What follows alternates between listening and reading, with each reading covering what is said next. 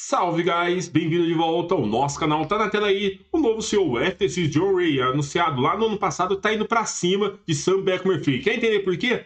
Você que perdeu dinheiro pode ter um fio de esperança aí. Ele tá indo atrás de um bilhão de dólares. É o valor que ele está tentando recuperar para tentar trazer a FTX de volta. Lembra você que não sai desesperado comprando o token FTT. Por quê? Porque sabemos que já trouxe vídeo falando que pode rolar um airdrop para as pessoas que foram prejudicadas pela FTX, porém pode ser e temos quase certeza de ser um novo token. Sendo assim, pessoal, já deixa seu like, compartilha, se inscreva no canal, porque aqui eu trago informações relevantes para vocês e vocês vão ajudar o quê? A levar mais conteúdo. Então, por favor, mais forte que o like, assiste esse vídeo aí, que é melhor do que um like.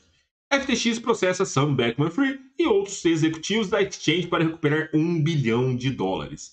Um bilhão de dólares, mais do que ela já recuperou, praticamente a FTX consegue se reerguer. Lembrando que tem um site aí no ar mostrando os saldos das pessoas que foram prejudicadas. Saiu já documentos falando que aí 25, 40% pode ser restituído às pessoas que perderam dinheiro na FTX, mas tudo isso depende do novo CEO da FTX correr atrás desse 1 bilhão de dólares. Os executivos da FTX e da Alameda Research, Sam Beckman-Fried, Caroline Ellison, Gary Wang, Nishar Singh foram arrolados em um novo processo movido pela FTX Notamos que esse novo CEO está partindo para cima deles. Ele quer o dinheiro de tudo quanto é jeito. Porém, desta vez a FTX abriu um processo contra o ex-CEO Sam Beckman-Fried e outros executivos-chave. Lembra vocês que até o pai de Sam Beckman-Fried está envolvido em transações, fez seis transações aí em média, desviando dinheiro da FTX. Ou seja, temos mais dinheiros escondidos aí. Agora a falida Exchange CryptoMass pode recuperar mais de um bilhão em fundos supostamente desviados e com certeza sabemos que foi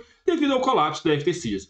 Nessa ação judicial, a FTX alegou que os ex-executivos violaram seus deveres ou supostamente se apropriarem indevidamente de fundos de clientes em uma base contínua para financiar a compra de condomínios de luxo, contribuições políticas nos Estados Unidos para vários investigados também. Nessa teia temos Gary Gensler novamente sendo citado onde ele teve conversas escusas com Sam Bankman-Fried, investimentos especulativos e outros projetos particulares. Além disso, pessoal, o processo alega que eles abusaram do controle sobre a FTX e as empresas relacionadas para cometer uma das maiores fraudes financeiras da história, e isso pode cair também sobre a SEC, porque Gary Gensler foi questionado no Congresso como estava a reação sobre o que aconteceu com a FTX, porque eles não regularam. Sabe que ele estranho ele fez, pessoal, ficou quieto. Ele não falou nada, não respondeu e não soube explicar como aconteceu a quebra da FTX e por quê, sendo que eles são os regulados. Sabe o que quando aconteceu isso? Quando ele pediu 2,4 bilhões de dólares para financiar investimentos de fiscalização sobre criptomoedas. Isso mesmo que você ouviu. Vou deixar um vídeo no final, assiste lá que você vai entender. Os réus criaram um ambiente no qual um punhado de funcionários, poucos, tinha poder praticamente limitado para supervisionar transferências de criptoativos e moedas fiduciárias, bem como concederam a si mesmo, a si mesmo, o poder de contratar e demitir funcionários sem nenhuma supervisão efetiva. Sobre como eles exerciam esses poderes, alega o processo sobre essa manipulação, que pode ter sido um palco, uma cortina de fumaça para tirar dinheiro e fazer altas movimentações. Além disso, não bastando essas coisas tudo que eu mencionei para vocês, você tem que deixar seu like, se inscrever no canal, link na descrição, NFT da comunidade, deu muito trabalho fazer, mas vai dar certo, a gente vai construir algo legal juntos. Pintou a sua, me chama no Instagram, Amauri Cripto. Ele alegou que os ex-executivos emitiram mais de 725 milhões em ações para si mesmo. Pessoal, 725 milhões em ações para si mesmo, sem que os devedores recebessem qualquer valor em troca.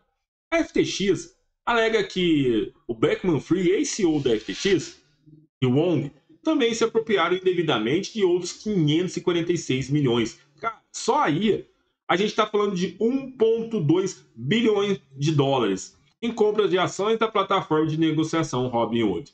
O processo alega que Ellison pagou a si mesmo 28 milhões em bônus. Vou te dar um bônus para mim de quanto? Ah, vou dar 28 milhões, eu mereço. Complicado com o dinheiro dos investidores que perderam. 10 milhões para comprar uma participação em uma empresa de inteligência artificial. A FTX também alega que em 24 de janeiro, lembrando que a FTX que eu estou dizendo é com o novo CEO, tá bom, pessoal? Em 2 de janeiro de 2022, Beckman Fried transferiu 10 milhões como um presente de sua conta da FTX US para a conta de seu pai na mesma exchange. Ô pai, seguinte, você foi tão bonzinho para minha vida toda, eu vou tirar esses 10 milhões desses investidores aqui que nem sabe que tem esse dinheiro, que deixa aí fazendo custódia na minha corretora, e vou colocar na sua conta de presente. Foi bem esse papo aí. Ele falou, obrigado, filho, pelos 10 milhões. Pouco tempo depois, o pai de Sam Bankman-Fried fez seis transferências, totalizando 6,75 milhões para as suas contas pessoais no Morgan Stanley e no TD Ameritrade, afirma o processo. Então, nós já temos rastreado duas movimentações, no Morgan Stanley e na, na Ameritrade. Ou seja, pessoal, é uma teia muito envolvente que vem sendo caindo e pode ter sim confisco de dinheiro e recuperação. A FTX alega que esse presente está sendo usado para financiar a defesa de Beckman Free. A FTX, ó, oh, isso aqui é interessante, porque se esse dinheiro for comprovado que é da movimentação da FTX, logo ele não vai poder se financiar. Logo ele vai ficar travado e vão correr outras pontas soltas atrás do dinheiro. A FTX diz que muitas das supostas transferências fraudulentas. Ei, você que está pagando altas taxas ao comprar as suas criptomoedas, a sua solução chegou. Loop Pay, com taxa zero na primeira compra ou venda. Pagando no Pix cai direto na sua MetaMask ou na sua conta bancária. E o melhor é que estamos com taxas reduzidas. Vem para o PicPay. Ocorreram quando a Exchange já estava insolvente, ou seja, sugando o restinho da Exchange para tirar e ficar de boa. Algo que, segundo ela, os réus tinham pleno conhecimento. É claro, isso era da alta cúpula. Beckman Free teria instruído a equipe técnica da empresa a modificar o código da Exchange para permitir a manutenção de contas com saldo negativo, algo que inicialmente era proibido.